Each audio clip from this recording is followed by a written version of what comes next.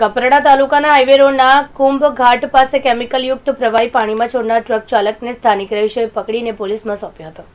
પોલીસે આ પ્રકરણમાં ગુનો દાખલ કરવાની તજવીજ હાથ ધરી છે.